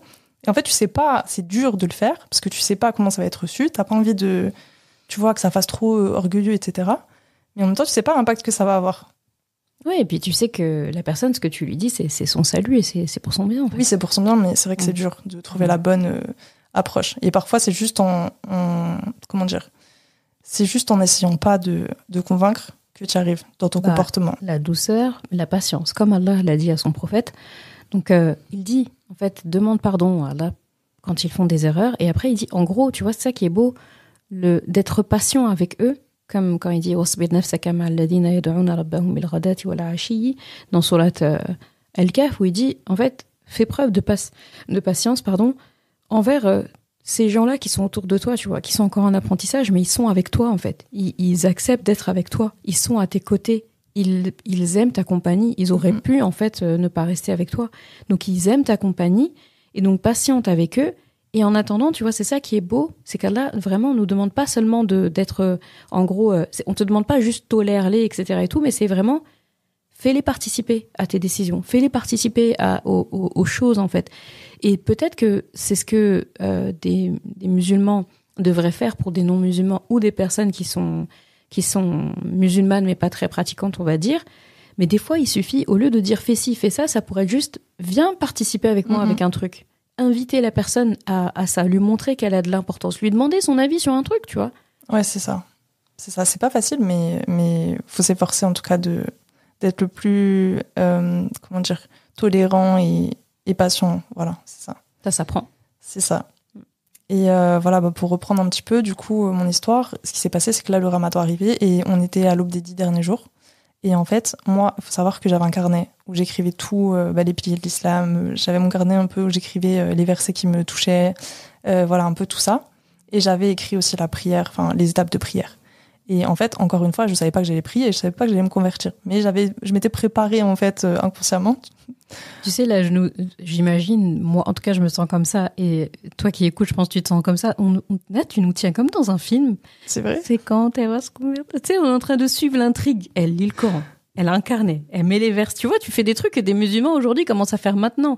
Écrire, tenir un journal. Quels sont les ayats qui t'ont, qui t'ont motivé. Et là, depuis tout à l- depuis tout à l'heure, on attend le dénouement, là. Et ben en fait non, c'est jamais arrivé. non mais après voilà, en fait j'avais tout préparé et c'est là que en fait l'apprentissage de l'arabe littéraire il m'a vraiment servi. En fait j'ai fait trois ans en tout à la fac. Après bon, comme euh, tu pratiques pas etc c'est dur, j'ai pas continué quoi. Mais je savais lire, je savais écrire, je connaissais. Du coup ça m'a aidé dans la prononciation, les, les voyelles longues, les voyelles courtes etc. Et en fait bah, j'avais tout écrit en arabe etc. Et euh, et en fait euh, ouais j'allais dire un truc important euh, c'est que bah, du coup moi il y a personne qui m'a appris la religion en fait les personnes qui m'ont le plus aidé c'est euh, Rachid El Jay et les autres imams en fait qui font des vidéos sur YouTube C'est les prédicateurs qui font des vidéos. voilà c'est ça Oui, Tu oui. vois, comme quoi, le, le rappel. voilà et en fait bah, c'est des ben, les, les bases quoi comment faire ses ablutions comment prier et en fait ben, je me disais enfin j'avais personne d'autre pour m'apprendre en fait les bases et en fait heureusement qu'il y avait ces supports là parce que c'est c'est Rachid El Jay qui m'a appris à faire les ablutions au final machin, là. Donc, Allah, qu'Allah les récompense. Et en fait, euh, voilà, donc euh, j'avais, en fait, j'étais prête. je savais faire, mais je faisais pas. En fait, je, en fait, j'étais dans le déni et en même temps, j'avais peur. J'avais trop peur d'être, de me tromper. En fait, pas de me tromper, mais de faire machine arrière ou tu vois, de pas être sûr, enfin, de pas assumer en fait. Moi, je voulais assumer. Si je me convertis, je me convertis. Je me convertis pas pour demain dire en fait non, je prie pas, en fait, je me lève pas. En fait, euh, non. tu vois, donc euh, il y a eu cette période où en fait, j'arrivais pas à sauter le pas. Et c'est marrant parce que des fois, quand je parle avec d'autres personnes qui, se sont reconverties, elles me disent pareil. Et euh, elles me disent non, mais moi, j'avais peur d'être une hypocrite. moi, je dis mais pareil. Je, me disais mais est-ce que tu es sûr que tu, tu le fais vraiment pour les bonnes raisons et tout ça? Voilà. Et en fait, je voyais les vidéos et tout, et je voyais que vraiment les dix derniers jours, c'était quelque chose de très important. Et je me suis dit, mais je peux pas passer à côté de ça. C'est dommage. Là, c'est maintenant, en fait. Et du coup, euh, je crois que c'était la veille des, du, début des dix derniers jours. Euh, J'étais dans ma chambre et je me suis dit, vas-y, je vais prier. Et je me suis, et en fait, j'ai mis un plaid par terre que j'avais dans ma chambre. J'ai mis mon carnet par terre et j'ai commencé à prier. J'ai commencé à prier. J'ai pas charré de devant des gens. Enfin, tu vois, après, j'ai même pas pensé à ça, en fait. Parce qu'en fait, je me suis dit, mais il n'y a pas de lien entre Allah et moi. En fait, j'ai même pas pensé. Mais mm. après coup, je me suis dit, mais de toute façon, Allah, il sait. Enfin, tu vois, peut-être que je me trompe. Hein. C'est vrai que c'est pas une condition, euh, en tout cas pour la validité de la Sharada, c'est pas une condition qu'il y ait des témoins. Mais tu sais que les gens derrière m'ont mis le doute. Parce qu'ils m'ont dit, mais est-ce que tu as charré trois fois? Est-ce que tu l'as fait devant des gens? J'ai dit, mais non, pas du tout. Moi, j'ai commencé à prier comme ça dans ma chambre. Allah, il est plus proche de moi que ma veine jugulaire. Est-ce que tu penses que. Enfin, après, peut-être que je me trompe, hein. c'est Dieu qui sait. Mais moi, ça m'est pas venu à l'idée de me dire, il y a un protocole, je vais pas perdre mon temps. Là je, suis prête à le faire. Est-ce que je vais attendre de me dire, il faut que j'aille à la mosquée? Faut que je prenne rendez-vous avec l'imam? Non. C'est tellement important de rentrer à la maison qu'Allah, si tu regardes bien, pour reprendre toujours ma métaphore, il suffit d'une phrase, de deux phrases exactement, mais en tout cas des paroles pour euh, entrer dans l'islam, pour moi, pour reprendre notre métaphore, c'est comme si finalement la porte elle est ouverte. Tu as le droit d'entrer en fait. C'est simple. T'as pas, même pas besoin de toquer. C'est ça en fait. Et d'attendre qu'on te réponde. Et de toute façon, moi, j'ai, en fait, c'est comme si moi, enfin, je me suis pas dit qu'il y a des, enfin, voilà, le lien il est direct quoi. Tu vois, le, lien avec Allah il est direct. Et ça, c'est ce qui diffère avec les chrétiens où il y a toute une hiérarchie. Tu vois, ça renvoie à ça, toute une hiérarchie. tu peux pas, tu peux pas arriver et dire. Euh, pas vraiment en fait. Ah ouais? Enfin, après, je sais pas, moi, j'ai. Enfin, je pense qu'il n'y a pas vraiment. Fait, je pense que aussi la Trinité, elle est, elle est aussi parfois mal interprétée aussi hmm. de la part des, des gens qui sont pas chrétiens. Tu as quand même un lien directement avec Dieu. Enfin, tu pries Dieu. Mais, euh, mais pour le, la confession, etc., oui, tu as un intermédiaire, en fait. Où tu as pas. Euh, enfin, c'est le, le prêtre qui te dit combien tu dois répéter de, de versets, etc., pour te faire pardonner, en gros. En gros, c'est ça. Mais bon, moi, j'ai jamais utilisé ces liens-là, en tout cas. Donc, euh, Là aussi, en islam, on n'a pas besoin d'intermédiaire pour demander pardon à Allah. Voilà, c'est ça. Donc après, bon, il y a aussi euh, des, enfin, les catholiques, c'est pas pareil que les protestants, c'est pas pareil. Enfin voilà. Ouais, c'est un vaste sujet. C'est, c'est un vaste sujet, mais en réalité, je pense pas qu'il y ait vraiment d'intermédiaire. Enfin, en tout cas, moi, je l'ai pas vécu comme ça mais j'ai pas fait mes communions, j'ai pas fait. Moi, j'étais un peu une touriste. j'étais un peu, je suis un peu arrivée comme ça. tu cherchais la maison, c'est tout. T'as fait des visites. J'ai vu de la lumière, je suis rentrée. Tu t'as fait, as fait des visites de logement et, tu t'es dit c'est pas, c'est pas ma maison, c'est pas la maison de mes rêves. Mais tu sais que j'avais même pas le droit de prendre l'hostie, le petit, la petite pastille. Ah, la petite pastille. Je pouvais pas. En fait, moi, je pensais que je pouvais pas la prendre parce que je n'ai pas communié, mais en fait, tu peux pas la prendre si t'as pas fait la confession. Et je pense que si t'es pas communié non plus. Enfin bref, il y a des trucs. Une fois, je suis allée quand même parce que je me suis dit, je vais y aller quand même je vais y aller quand même. Et euh, mais je, enfin, pas vraiment de sens quoi. Enfin, pour moi, ça n'avait pas vraiment de sens. Ça m'empêchait pas, en tout cas, de faire mes prières, etc. Enfin, bref. Mais, mais voilà, moi, je me suis dit bon, il y a pas de, j'ai pas de protocole à suivre. Enfin, j'ai pas pensé, j'ai pas pensé, j'ai même pas réfléchi. Et voilà, après, j'ai commencé à faire ma prière et j'ai, ensuite, je me suis réveillée. C'était le soir. C'était, je sais pas quelle prière j'ai fait, mais c'était une prière le soir. Et après, ben, j'ai enchaîné le lendemain. J'ai fait les dix derniers jours de Ramadan en étant musulmane, quoi. Toi, quand Ramadan arrive, euh, tu as une raison de plus de le célébrer que les autres. Oui, je me dis, ça y est, en, bah, enfin, ça me rappelle, c'est ma date, euh, entre guillemets, anniversaire de, de ma conversion. Et, euh, et, voilà. Et après, bah, je l'ai dit à personne hein, que j'étais musulmane, en fait. je l'ai dit à personne. Il y a que les gens voilà, avec qui je faisais le, donc le, le jeûne, le, le le soir et tout. Et puis même mes parents, ils n'étaient pas vraiment au courant, mais bon, ils me voyaient jeûner, quoi. Enfin, je pense que ils se sont dit quand même, voilà. Euh, mais ils m'ont jamais posé la question en fait. Ils m'ont jamais posé la question. Et ensuite, ce qui s'est passé, c'est que euh, bah, y a eu le... la première fois que je suis allée à la mosquée, c'était pour le jour de l'Aïd. Et en fait, c'est la mosquée de mon village, enfin ma ville, c'est une toute petite ville. Et en fait, les gens ne m'ont pas reconnu quoi. tellement ils se sont dit, mais c'est improbable. En fait, ils m'ont même pas reconnu. Après, ils ont dit, mais, mais c'est toi? Mais, mais, mais regardez, Et c'était marrant parce qu'ils se sont dit, mais qu'est-ce qu'elle fait là? Eux-mêmes, ils ont pas. Mais du coup, ouais, c'était hyper émouvant. Ma première mosquée, c'était le jour de l'Aïd, quoi. Et, euh, et, en fait, je savais pas quoi faire. J'étais, j'étais perdue. Je me suis dit, imagine, je fais un truc qu'il faut pas. Euh, je sais pas comment me mettre et tout. Et c'est marrant parce que il y a une fille qui m'écrit sur Insta, une petite, je pense qu'elle adore, 17 ans, 16 ans. Elle me pose toujours des questions comme ça et elle me dit, et c'est un rappel aussi par rapport au sujet du jour, c'est qu'elle me dit j'ai peur en fait que les gens me jugent sur ce que je vais faire dans la mosquée. Si je fais mal un truc, j'ai peur que les gens viennent me dire c'est n'importe quoi, c'est pas comme ça, c'est pas comme ça qu'il faut faire. Et en fait, ça m'a fait trop mal le cœur. Voilà, qui est, qui est la, la peur des, des autres. C'est ça, elle a peur. Et moi, je disais, mais t'inquiète, de toute façon, euh, tu fais ton mieux. Enfin, c'est comme à la maison, sauf que, bon, bah voilà, tu dois te mettre en rang et tout ça. Mais elle avait trop peur. En fait, mais je peux comprendre, parce qu'en fait, ma première, première fois, je suis allée à la mosquée, je suis allée seule. Et en fait, je me suis dit, qu'est-ce que je vais faire et tout. Enfin, tu vois, comment je vais me mettre et tout ça. Et, euh, et en fait, euh, mais c'est pas vraiment par rapport aux gens. Je pensais pas que les gens allaient venir m'agresser et tout. Mais je pense qu'aujourd'hui, les gens, ils ont tellement de liberté à venir, euh, tu vois, te voir et te dire, hey, c'est n'importe quoi, comment t'habilles et tout. Et du coup, ça m'a fait trop mal au cœur parce que je me suis dit, purée, eh ben, en fait, elle peut pas, elle l'ose pas à cause des gens, quoi. C'est fou. Et, et c'est vrai que moi, à ce moment-là, ben, j'ai pas trop pensé à ça. Mais, mais du coup, voilà, c'est un peu comme ça que ça a commencé. Et, et après, bah, subhanallah, la, la, enfin, l'étape la plus importante ensuite qui est arrivée, euh, c'est quand je me suis rendue à Mecca, en fait. Waouh. Et ça, c'était. C'était après ta conversion Ouais, c'était après, c'était euh, l'année dernière. Donc, moi, je me suis convertie en 2018. Et, euh, et, voilà, après, je suis allée vivre en Australie. Je, je suis partie à l'autre bout du monde. Canela, Canela trip, quoi? trip. Je suis partie en trip à l'autre bout du monde. Et, euh, et, voilà, après, ce que je veux dire surtout, c'est que euh, je suis pas devenue parfaite du jour au lendemain parce que je me suis convertie. Je suis pas. Enfin, tout ça, c'est un cheminement.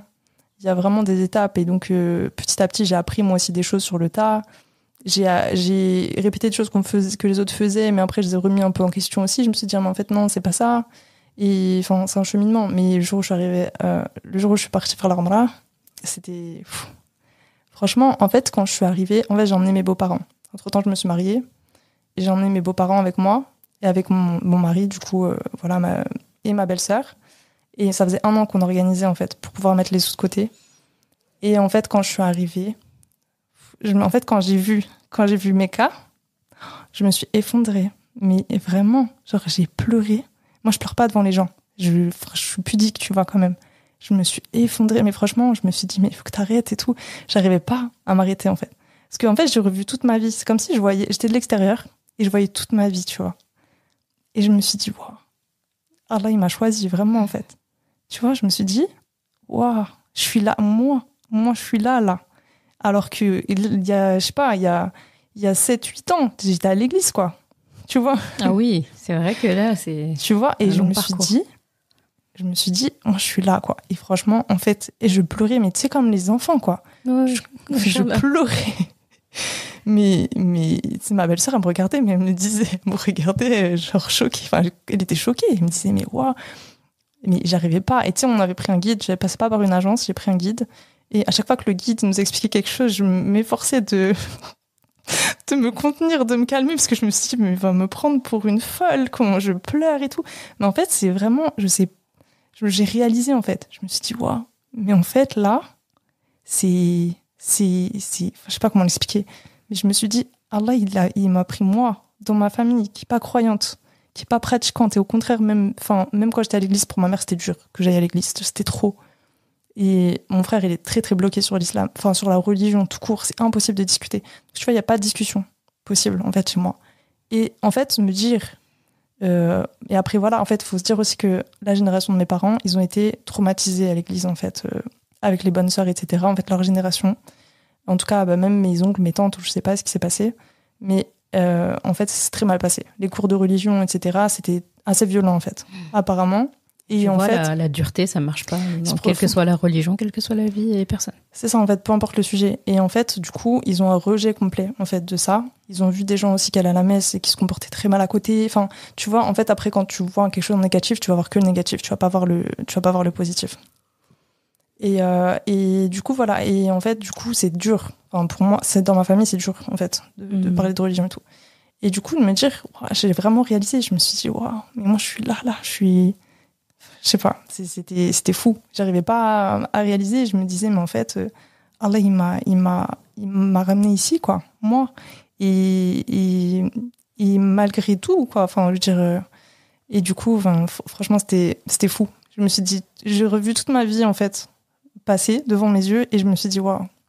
Et franchement, je me suis pas arrêtée de pleurer jusqu'à la fin. Genre jusqu'à Safa Marwa, après j'ai arrêté de pleurer. Mais c'est tant mieux. Moi, je conseille toujours ça aux personnes qui vont en Umrah pour la première fois ou même euh, d'autres fois. Mais la première fois, c'est très important. Faut pas, il faut se préparer à ne pas se retenir euh, là-bas. Moi, j'étais pas prête. hein. Devant, devant toi et Allah, il n'y a pas de filtre en fait. J'étais pas prête. Et puis en fait, là, c'est vraiment, j'ai vraiment senti le je suis rentrée à la maison que t'as dit? Machallah. C'était vraiment là, je me suis dit là, je suis arrivée en fait. Parce que c'est la concrétisation, entre guillemets, tu vois. Enfin, Allah, il, il est- partout. Mais je veux dire, là, je suis, je, je suis venue jusqu'à Mecca, tu vois. Enfin, c'est. J'aurais jamais pu prévoir ça en fait. J'aurais pas pu l'imaginer. C'est-à-dire que j'ai rien prévu. Et cette année-là, ben, c'est l'année où j'ai décidé aussi de porter le hijab. Mais je l'ai pas décidé en fait. Mm. Pareil, franchement, j'ai j'ai rien décidé. En fait, c'est comme si moi je suis là, mais c'est pas moi qui me contrôle. hein. Enfin, c'est en fait quand tu dis on prend la décision nous, nous on prend pas la décision. C'est Allah qui décide. En fait, nous, la décision qu'on prend, c'est d'écouter la, la, la voix finalement Mm. qu'Allah nous met dans le cœur. Oui. Il y a des personnes qui écoutent leur intuition et des personnes qui l'écoutent pas.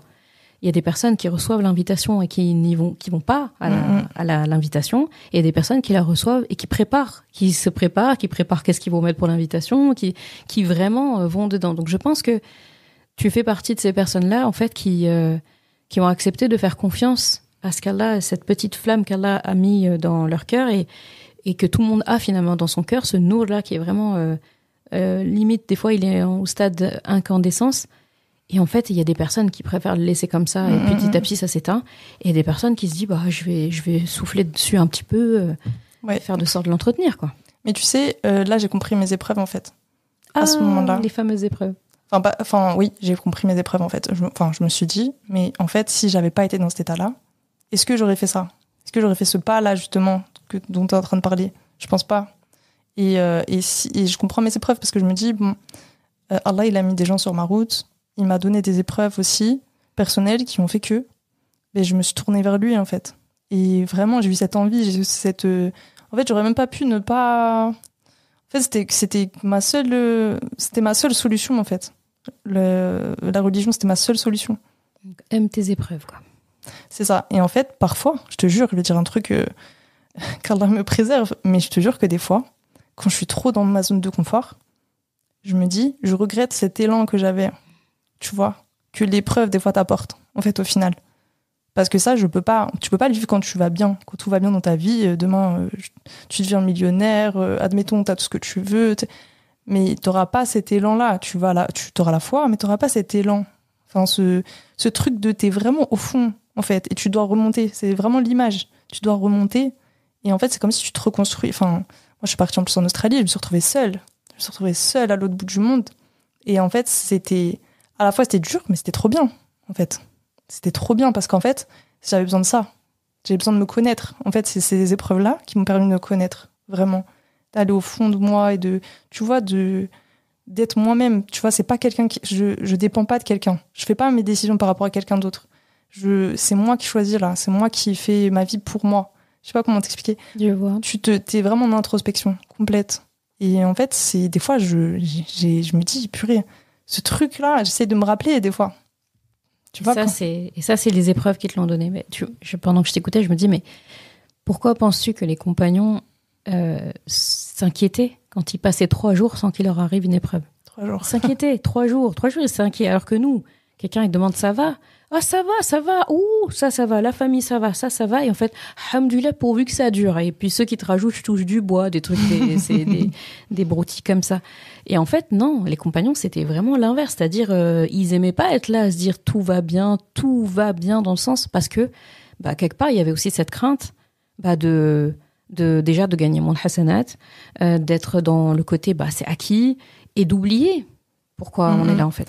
Mais en fait, moi, je, je fais toujours cette. Je me dis qu'Allah me permette d'être aussi euh, impliquée dans ma foi, dans les meilleurs moments comme dans les pires moments, Mm. en fait. Quand c'est facile et quand c'est. Voilà. Et même quand c'est trop facile, je me dis, oublie pas de remercier Allah parce que, en fait, je me fais moi-même des piqûres de rappel. Mm. Et tu sais, pendant longtemps, j'arrivais à me rappeler, tu sais, la sensation de ma première prière. Mm. Maintenant, j'arrive plus. Ah, subhanallah. J'arrive plus, mais je me rappelle de mon moment où je suis arrivée à Mecca. Bah oui, bah oui, c'est. Bah tu vois, là, il t'a redonné un autre renouveau. Ouais. Trop beau. Euh, Après, j'ai pas trop abord- abordé le hijab, mais, mais c'est vrai que, en fait, pareil, enfin, je pense que, quoi qu'il arrive, je pense qu'il faut pas se mettre trop la pression. Tu vois, faut pas. En fait, si je m'étais dit, demain, je porte le hijab, euh, en fait, je, me serais mis trop la pression. Je me serais dit, bon, à partir d'aujourd'hui, là, je vais mettre le hijab toute ma vie. Et puis, il faut des, fondations solides. Et ça renvoie à ce que tu disais. C'est très important de faire quelque chose avec la conviction de la faire. Pas dans le sens, euh, faut surtout pas que je me trompe, parce que l'être humain, par essence, il se trompe, comme sallam l'a dit, que tous les fils d'Adam, en fait, ce sont des, pécheurs, sont des gens qui se trompent, et les meilleurs parmi eux, c'est ceux qui demandent pardon. Donc, la question, c'est pas de ne pas se tromper. Mais il y a un truc important quand on prend des décisions de pratique ou autres, c'est de les faire en s'efforçant de ne pas arrêter de le faire. C'est ça. Tu vois. Et si tu sens que ta foi n'est pas. Tu vois, c'est paradoxal parce que d'un côté, si on réfléchit comme ça, bon, on se dit, ah, mais non, non, je suis pas sûre, je fais rien, tu vois. Mais en fait, euh, il faut se donner le temps. Tu vois, Ouais. faut garder ça et se donner le temps. Et pendant tout l'épisode, j'étais en train de penser justement à ça, que c'est ça que j'aime avec euh, les personnes qui se reconvertissent à l'islam, c'est que pour moi, euh, ces personnes sont un rappel de comment l'islam a démarré. Mm, mm. Tu vois, quand on lit le Coran, le Coran, je trouve qu'il retrace plus la vie d'un reconverti à l'islam que la vie de quelqu'un qui a baigné dans l'islam, tu vois. C'est aussi, euh, parce que c'est aussi l'histoire aussi des gens qui se sont C'est convertis, ça. quoi. En fait, c'est exactement ça. En fait, c'est comme si c'était votre itinéraire qui était, qui était retracé. Et en fait, eux, ils ont eu le temps. Combien d'ayats on voit qu'il y a une progression Et c'est ce que j'aime dans le Coran. C'est-à-dire, il aurait pu, nous, on l'a reçu en un bloc. Mm. Euh, quand on est né, quand on est arrivé dans ce monde et tout, il était déjà en un bloc. Donc, il y a ce côté où c'est une épreuve, entre guillemets, parce que justement, on n'a pas la temporalité.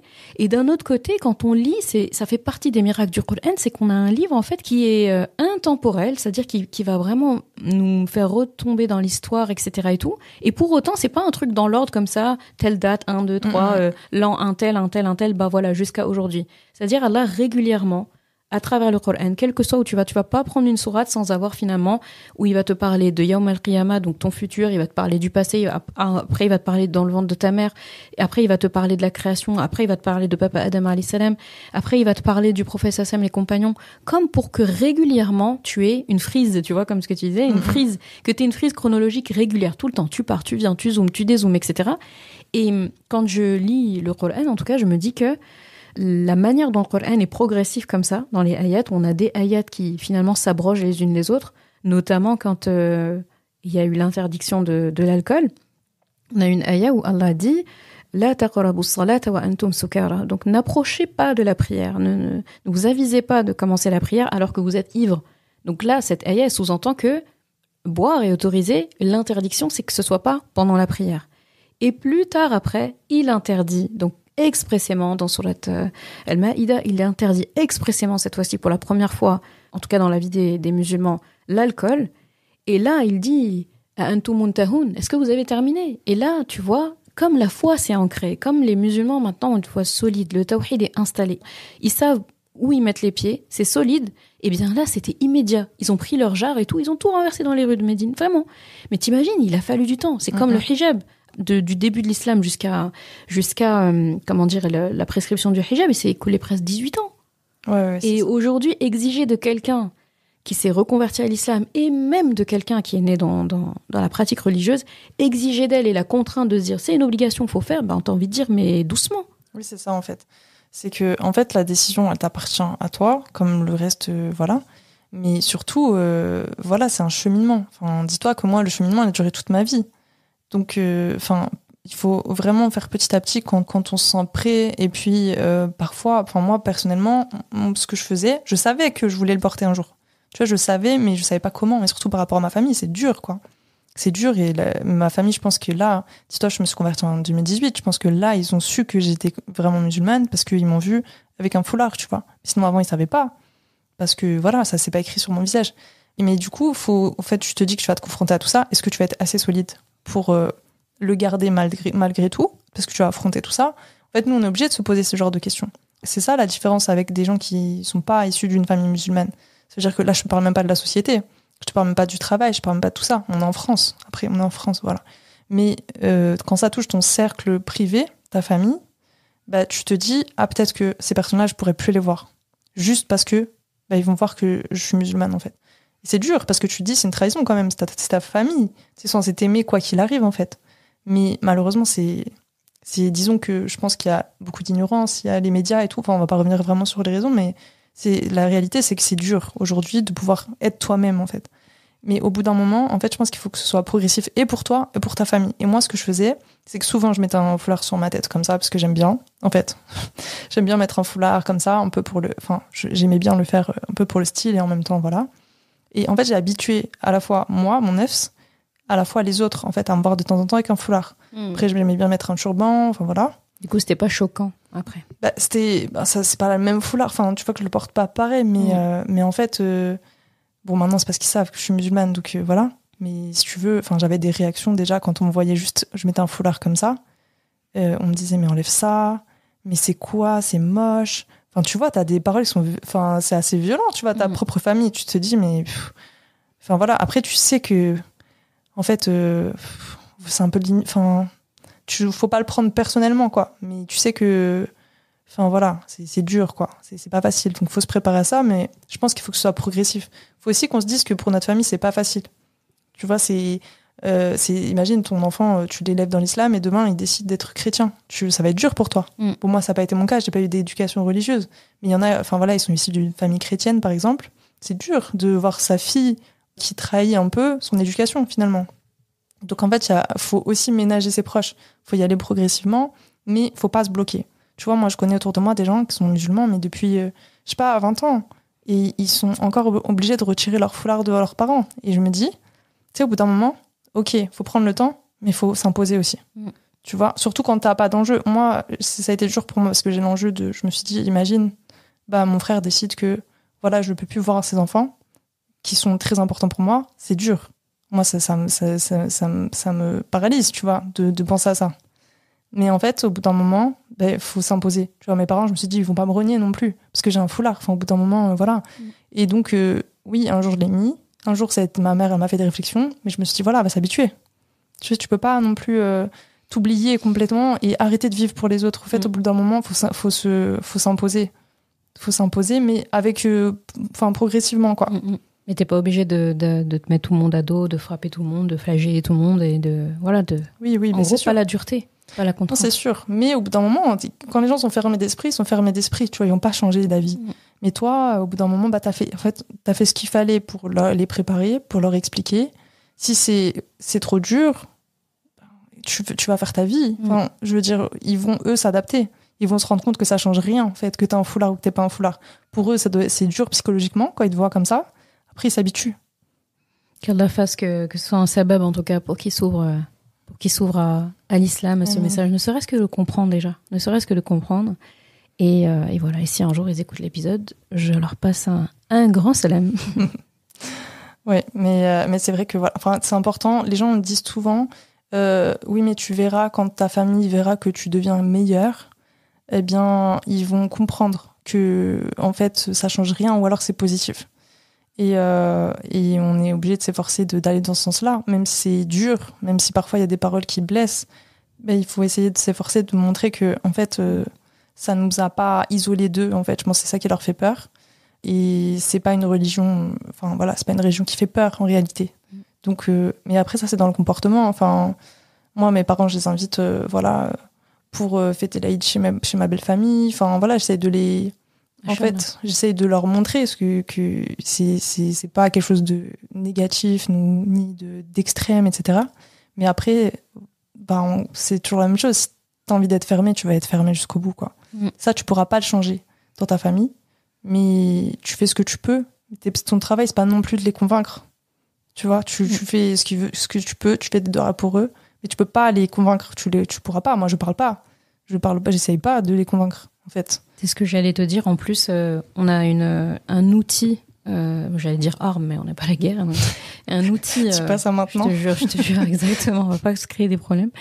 Un outil qui est mais hyper précieux en fait. C'est les invocations, les doigts, et en fait, on les, je, enfin, je trouve peut-être pas les minimiser, mais on ne mesure pas assez comment un destin peut changer, que ce soit le sien ou ceux de personnes, des fois on ne connaît même pas, à travers des invocations. Et peut-être que tu es le fruit d'une invocation de quelqu'un, ta conversion à l'islam était le fruit d'une invocation de quelqu'un, cette personne ne sait pas et toi tu sais pas. On ne sait pas en fait où va notre la missive qu'on envoie quand on fait une dua. Et Allah le fait arriver à bon port. C'est ça qui est bien, c'est-à-dire c'est comme si tu envoies une lettre toi, t'es pas sûr du destinataire ou des fois tu sais c'est quoi le destinataire et là il reçoit euh, la lettre et il sait exactement où l'amener, à qui l'amener, quand la déposer et, euh, et parfois il, euh, il ajoute il ajoute des choses dans la lettre qui viennent de lui, comme s'il l'a il l'améliorait.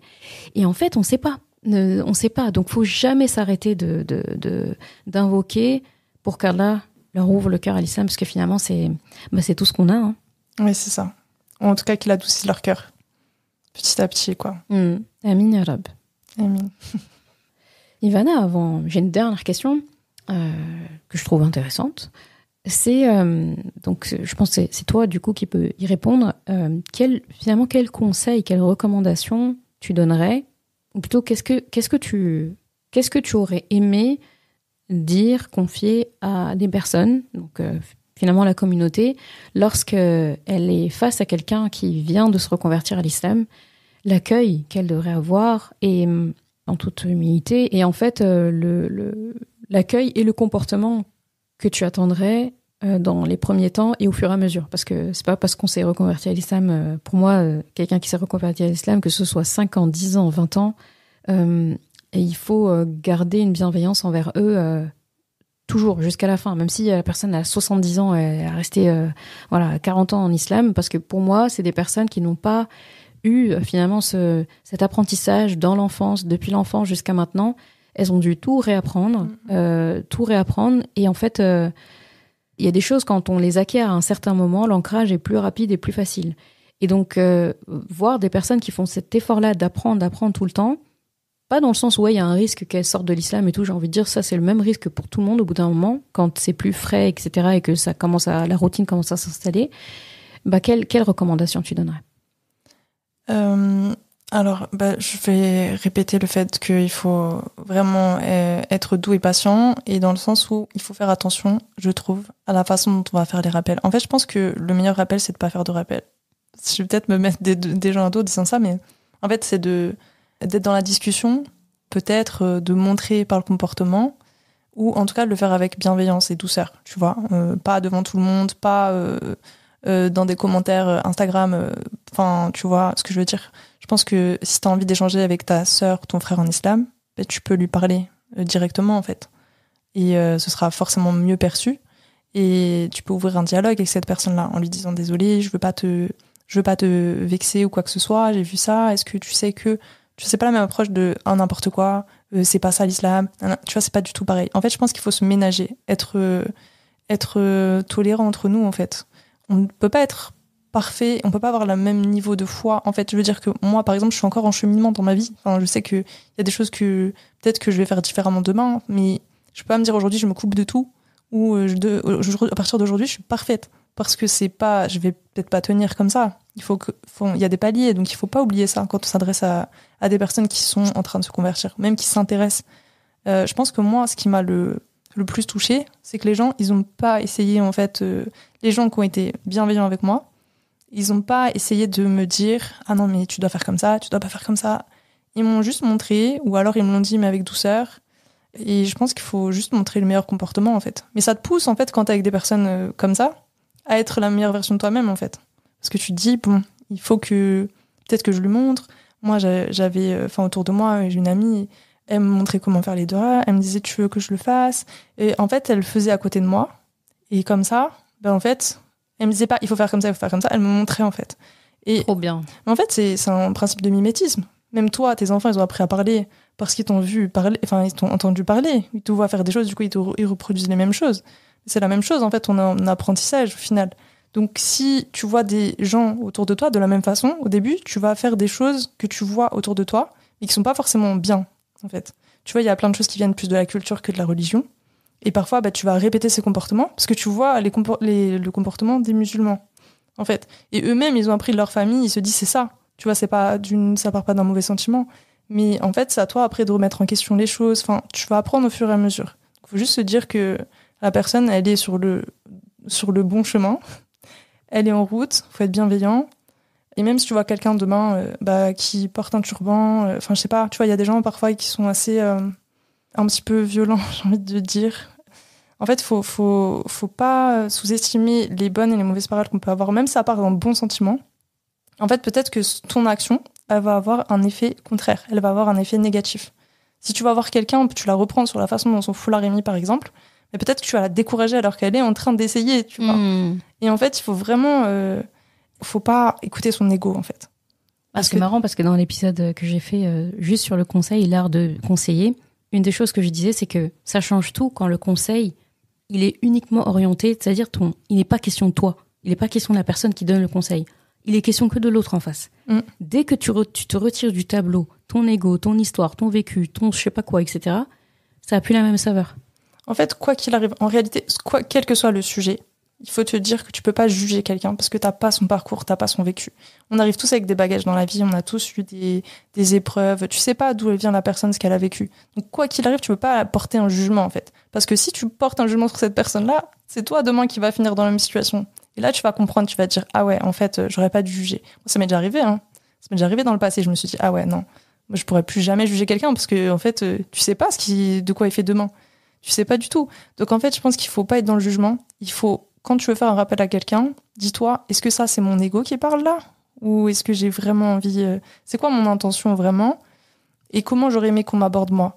Et, euh, et voilà, je pense qu'il faut juste être euh, tolérant en fait. Machallah. Ça, ça résume bien. C'est marrant parce que pendant que je t'écoutais, euh, bah, je disais que ça m'a fait penser à comment on s'est rencontrés et notre amitié. On ne l'a pas évoqué dans cet épisode, vrai mais je pense qu'il s'est vraiment construit dans un cheminement que tu avais et aussi un cheminement que j'avais. Euh, Il y a eu le Coran dans l'histoire aussi, je pense. Mais ce que tu sais pas, c'est que en fait, je pense qu'on s'est rencontrés parce que j'ai fait une dora, tu vois. Ça, Sérieux? Ah, tu m'as jamais dit ça? Non, en fait, Découverte en live. En fait, deux fois dans ma vie, j'ai fait une Dora où je me sentais. En fait, je me sentis seule, même quand je me suis convertie, en fait, parce que j'avais pas vraiment de beaucoup de monde autour de moi avec qui je pouvais parler de religion et, euh, et entretenir vraiment, euh, tu vois, un lien par rapport à ça. Et en fait, une fois, j'ai fait cette Dora que Allah mette sur mon chemin euh, des personnes qui me rapprocheraient de lui. Et en fait, cette première fois, j'ai une, amie qui m'a contactée avec qui je faisais des maraudes et elle m'a dit, euh, ben, je fais un épisode. euh, je fais un épisode, n'importe quoi. Je fais un groupe WhatsApp sur les- la lecture du Coran. Et elle m'a dit ce que tu veux que, que je te mette dedans. Et subhanallah, genre, je- quelques jours après. hein. Et du coup, je suis rentrée dans ce groupe-là. Depuis, je suis toujours dans le groupe de lecture du Coran. Et en fait, c'est du coup, on entretient ce lien avec le Coran. Et en fait, ça motive à la lecture, etc.